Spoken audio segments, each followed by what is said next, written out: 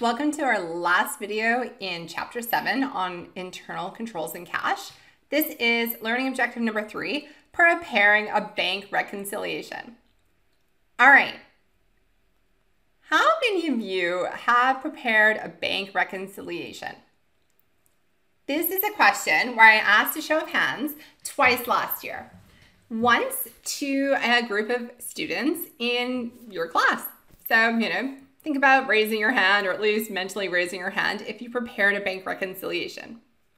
The second time I asked was during a financial literacy lightning talk that I gave for a conference last February. The results for both groups of people, uh, the one with 80 students uh, in introductory financial accounting and the other with a couple hundred um, people. Uh, many were librarians, many were uh, management information systems uh, or information systems people, professors, master's students, a number of professionals across um, the Atlantic. So both groups of people, very few people raised their hands. And it makes sense you know, we tend to think, oh, accountants are people that prepare bank reconciliations. Well, then I told both groups of people, you're wrong. And they said, what? I'm like, I bet you have prepared a bank reconciliation. And they're like, hmm. Um, but before I said that, I said, hey, wait a minute. Sorry, wrong question. Um, show of hands. How many of you have, um, you know, checked your bank statement and there was a different number on your bank statement than you had in your head. Maybe it wasn't even your bank statement. Maybe you pulled out cash uh, for a fun night out or to, you know, buy some snacks, maybe at the movie theater, and you checked your withdrawal uh, receipt and there was a different number that it said that you had left in your bank than you were expecting. Has this ever happened to anybody?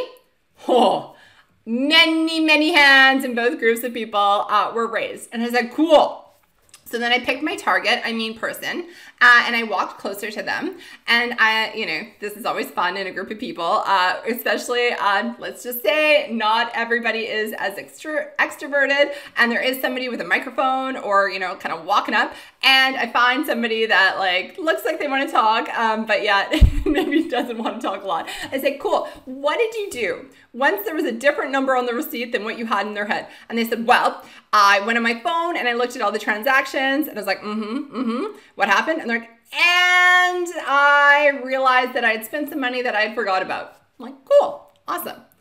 And then I went uh, to somebody else and I'm like, hey, what happened? Same thing. Well, one student last year, I asked what happened, and she said there was an error on the bank. And I was like, oh my goodness, what did you do? She's like, I went down to the bank, I talked to the teller, she got her manager involved, and uh, within a week, they had fixed the mistake and put the money back in my account. Amazing. So, do you know what all of these instances had in common? Well, um, yeah. Everybody here um, that raised their hand, if they checked their bank balance and had a difference than what was in their head, everybody there had prepared a bank reconciliation. So again, cash is cash is cash. Cash is thing that organizations do, and cash is something that we interact with likely on a daily basis. So when we're looking at bank reconciliations, all we're doing is saying, hey, is the cash that the company thought they had in the bank matching what the bank says they have in a bank. No different than what you or I would do. So in a company context, when would we, um, why do we use a bank? Well, we use a bank to safeguard our cash. We as a company don't want to just have a bunch of cash laying around. It's susceptible to theft. Thinking back to the start of video number one, many of you said to um, put it in a vault, um, perhaps, uh, you know, send it to another bank that's more secure. We want to safeguard that cash. When we use a bank, it also gives us a record. So it gives us documentation of the transactions, what's coming in to our bank account, cash deposits, what's going out, cash receipts. So when we have a number on our financial statements and we have a number within our bank account, so what our bank says we have, those two counts need to be reconciled. And so understanding the debits and credits for each of these, we have to remember that the bank is itself an organization and your books, your books is an organization. So let's look at, let's ignore this column. Let's look at our books. When we deposit money, we debit cash, credit um, whatever it went out to do. So perhaps it was for a sale. We debit cash and we credit revenue. Cool.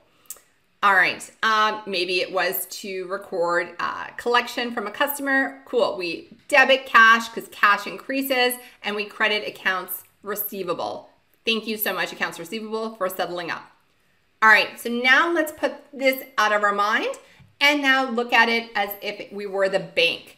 The bank's job is to hold your cash. So when you put your money in the bank, it is a liability to the bank because they are, yes, their cash increases when you deposit. However, they owe you that money. So when the bank amount cash balance increases from deposits, it's actually a credit. And then when you write a check, then that means that the bank is going to be paying that am- amount out so that their liability uh, decreases. So then when you write a check, we actually have a debit there. All right, a little bit weird and wonky, but I feel like when you put on the two different hats, hey, are we looking at it from the company's point of view or are we looking at it from the bank's point of view? That helps, that plus a lot of practice helps kind of make sense of this. So no worries if it's a little fuzzy now. Uh, it's something that I definitely, you know, don't do on a day-to-day basis and need to think of it as two separate hats when I do it. All right. So there's going to be some differences, people. Um, unless we use um, bank wires, although I will tell you a personal story about myself and a woman named Deborah at one of the large banks here. Let us just say uh, that Deborah was cool um, with sending a bunch of my money out in the world, um, knowing that it likely wouldn't land via wire and take 12 days to come back. But anyways, um, usually when you electronically send money um, from one bank account to another, it is relatively instantaneous. However, when there is literally somebody taking cash from your store and putting it into the bank, otherwise known as deposits in transit, there might be a timing difference. Uh, in Calgary, I know that they have kind of like an after hours, um, like a little slot, like looks like a mailbox where somebody would, customers would have their own envelopes from before, they would put in cash, and then they would deposit the money through this after hours slot. So while the bank is like, or sorry, while the organization is like, yeah, cool, cool, like this cash is in the bank, therefore it's on my like bank account um, balance that rolls up to cash it not might not be yet reflected on your online banking because nobody has opened up the envelope and put it into your bank account. So we might have a timing difference for deposits in transit. Similarly, if you are a company and you are writing those old school checks, you wrote that check. You're like, cool, I'm gonna credit my cash balance so I don't accidentally spend money I don't have. But um, the bank still thinks you have the money because whoever you sent the check to hasn't cashed it yet or it hasn't been processed yet. So you might have an instance where you've already accounted for the cash going out, but the bank hasn't. So your bank balance is overstated. So those are timing differences. Both parties can also make mistakes. Uh, and then we also have bank fees that you may not have accounted for, but the bank bank certainly has. All right, so we need to reconcile all of these. Kind of like um, one of the participants who said, oh shoot, um, I had forgotten about some transactions that I had made. I forgot about some outs, um, some outstanding checks or, you know, just I forgot, I made an error. So when you are reconciling between how much cash you think you have and how much cash the bank says you have, that's called reconciling for the timing differences and the errors. So we are going to adjust our books and or adjust our bank balance and such that the two equal. So our adjusted cash balance equals our reconciled bank balance. Just a friendly note though, we're going to be doing actual debits and credits. We will never debit and credit the bank because they are not our company. Okay? So when we're doing actual debits and credits, that is from our cash balance to our adjusted cash balance. And then we'll be reconciling the bank balance such that the two match. That's the name of the game is to match them. And I kind of think of it like we are investigators. Okay. So what do we do? We start off with our cash balance per the bank statement and we start off with our cash balance per the books. And again, the name of the game is to make sure they're equal. We will start with the bank and we'll like say, okay, cool. We're gonna add in the deposits uh, in transit because that's just money that we've already accounted for that they haven't. So we need to add it in. Then we need to minus outstanding checks because, hey, we wrote some checks, but they haven't yet been cashed. So we need to reduce our balance per the bank. And then we have to plus or minus for any errors. That's when we get our reconciled, reconciled bank amount. All right. Now on the other set of books, our bank, our personal books, pardon me, we take our starting cash balance and then we have to um, add in any uh, electronic fund transfers uh, or interest or other deposits that we weren't yet aware of. We need to minus any um, electronic fund transfer payments or service charges, monthly um, service charges, or non sufficient checks uh, that we weren't aware of, fees, as well as plus or minus any errors. And then once this is done, this is done. People, I will tell you right now that the largest portion of um, variance in the chapter 7 8 mini test was because some students practiced and nailed bank reconciliations while other students um, did not appear to demonstrate uh, knowledge on bank reconciliations. So we're going to do a big problem and um, then there's lots more practice, but just know that this is something that will take a bit of practice because uh, there's a couple different permutations and combinations. But once you've done the practice, it really should um, feel like you're just looking into your own cash balance. Almost that easy. Uh, so we like infographics and then we like to summarize them in words. Just this says the last slide, just in some words. I'm gonna move on. Okay, so once we've had that reconciliation where our numbers equal, we need to journalize all, ah, all of those items. I'm going to click it for emphasis. We need to journalize all of the changes that we made to our personal books cash balance, but we do not journalize the bank because this is not our company. No, not our company. We do not adjust for the bank's timing differences. This will make up. We're journalizing because there was stuff going on that we didn't know about or didn't think about. We were like, oh, right. I bought those pair of jeans, but I didn't mentally adjust for it in my books. Gotcha. Okay, so let's do some practice. For each of the following items, I want you to identify where, um, where it is included in the bank reconciliation. So let me know, is it either bank increase or bank decrease? Or is it books increase for your company's books, increase or decrease? Or is there not applicable, meaning that there's no adjustment needed? Pause this video, give it a go, and I'll see you in just a moment to do our debriefing for this question. By the way, this is not the big bad question. This is the warm up. So please get warmed up. Talk soon. All right. So for number one, Outstanding checks from a prior month, May, are still outstanding. Well, we are going to need to take our bank balance and minus it. Minus. Bank. Minus. All right. And that is because uh, we have already removed it from our books. We knew we wrote the check. We're going to minus it but it hasn't been cashed yet. And the bank is like, I don't know. Uh, so that's the adjustment that we need to make. And therefore, no journal entry. All right, let's go to the next one. All right, and I just made this little legend uh, going forward. If it's bank, it'll be BA, and if it's book, it'll be BO. And that's just because my pre little slotted items there will likely not, um, yeah, it'll just mess up my formatting. Okay, moving on. Outstanding checks from a prior month, May, are no longer outstanding. Well, if you said not applicable, then you're right. So prior month, we would have done um, a, a minus from the bank. But if it's since cleared, then the bank and the book amount are reconciled for that amount. Awesome work. Number three, a, a deposit in transit from the current month, June.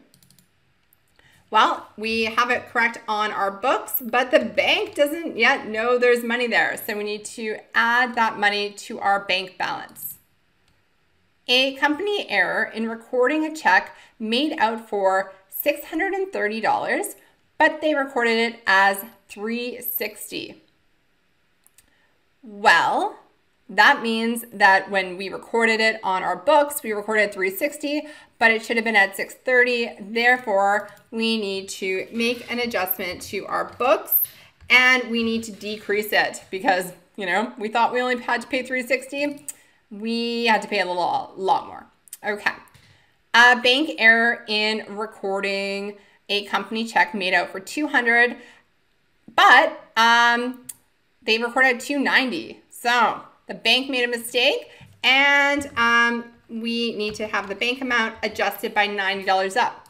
Just like the student in class, the bank can make a mistake and you gotta go ask them to fix it. Bank service charge.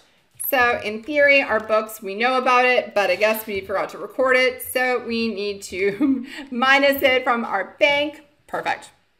All right, bank deposit, sorry, uh, bank deposit for interest earned on investment. Oh, awesome. So the bank knows about the interest they're paying us, but I guess we forgot to put it on our books, so we need to add it back.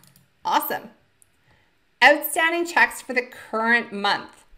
Well, if they're outstanding it's the current, from the current month, we need to get the bank balance and we need to minus it because they don't know that we wrote the check, but we do. A company error in recording a $1,280 deposit and we recorded it as 1680. Oh, our books are too high, so we need to take our books the, uh, and we need to subtract. Subtract. Alrighty.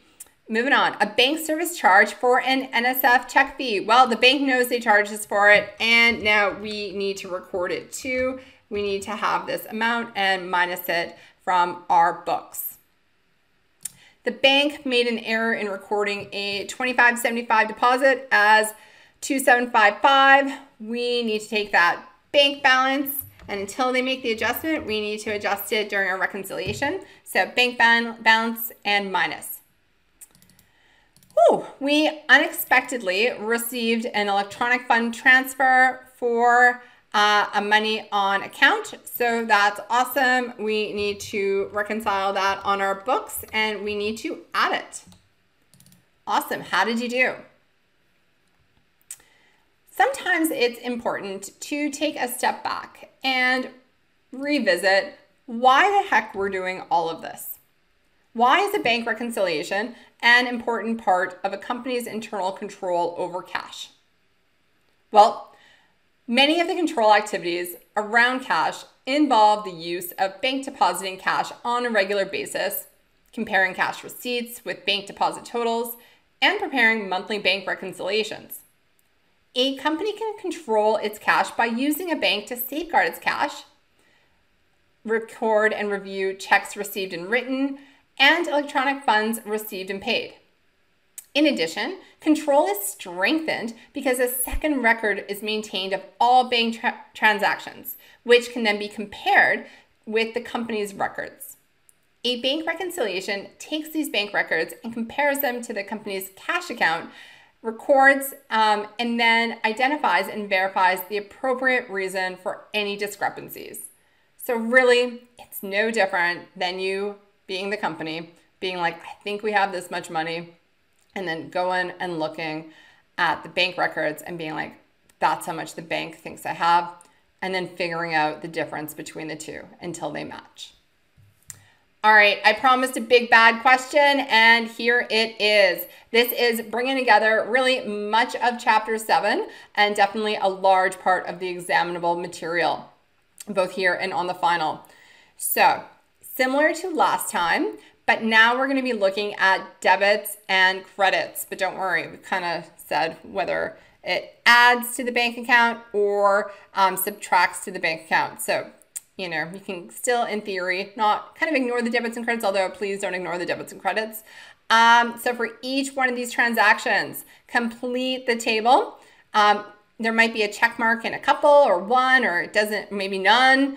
And then let me know, is there a journal entry that is required?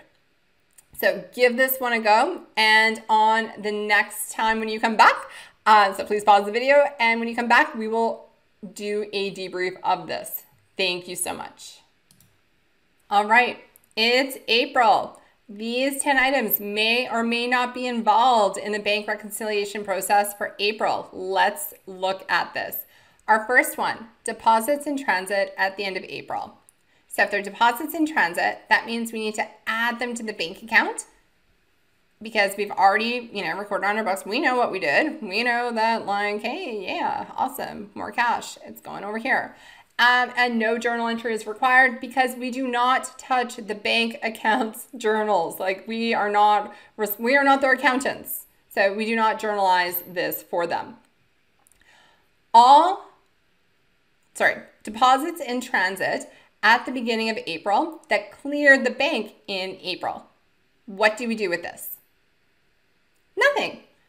Uh, so they were, oops, I'm going to take this and I'm going to move it over here. And I am going to say nothing happens with this. Not applicable.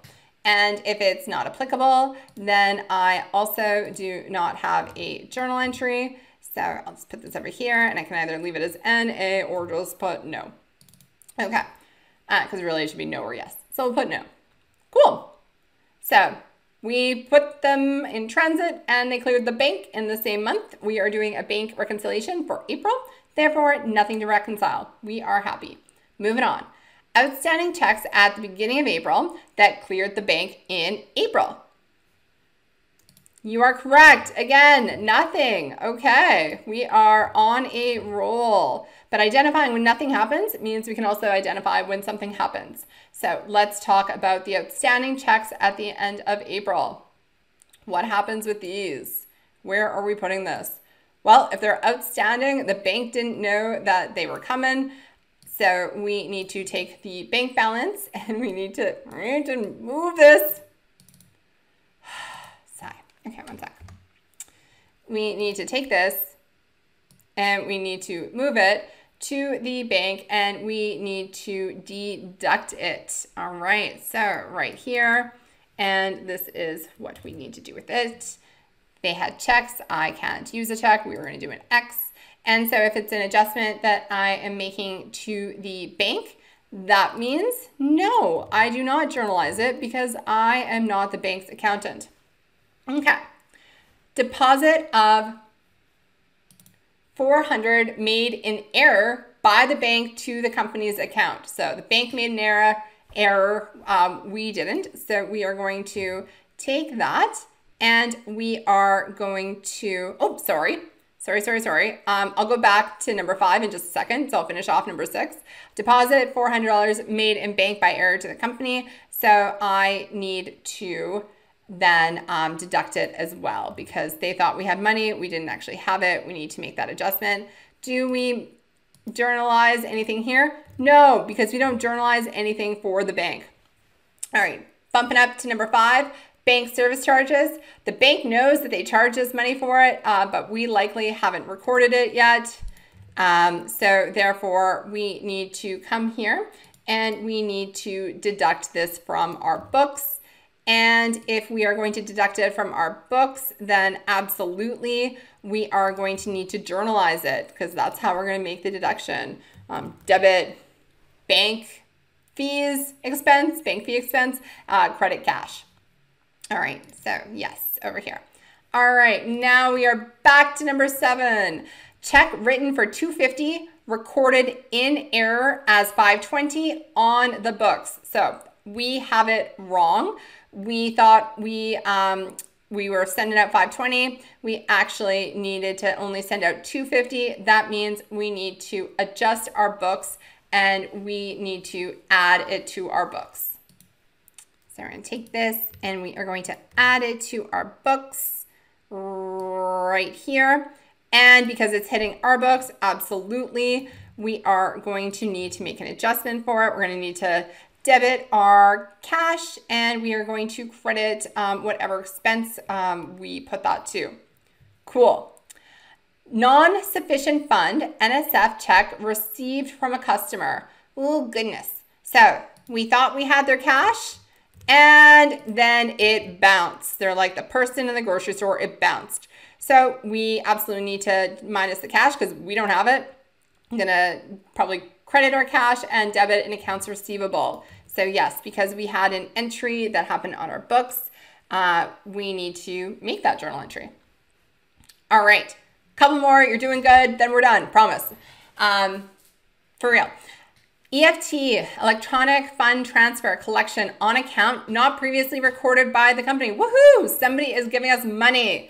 We didn't record it yet. We got to record it and add that money. So thank you so much. We are going to debit our cash and we are going to credit the accounts receivable because it was money paid on account. Thank you, thank you.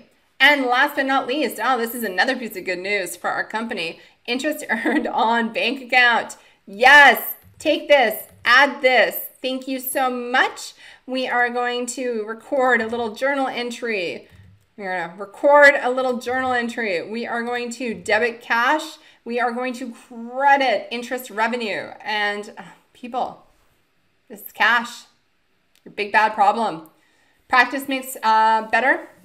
Practice makes perfect. Practice is what is going to cement this in. Thank you so, so much. And for those of you uh, joining me for my colleagues class, thank you uh, for stopping in.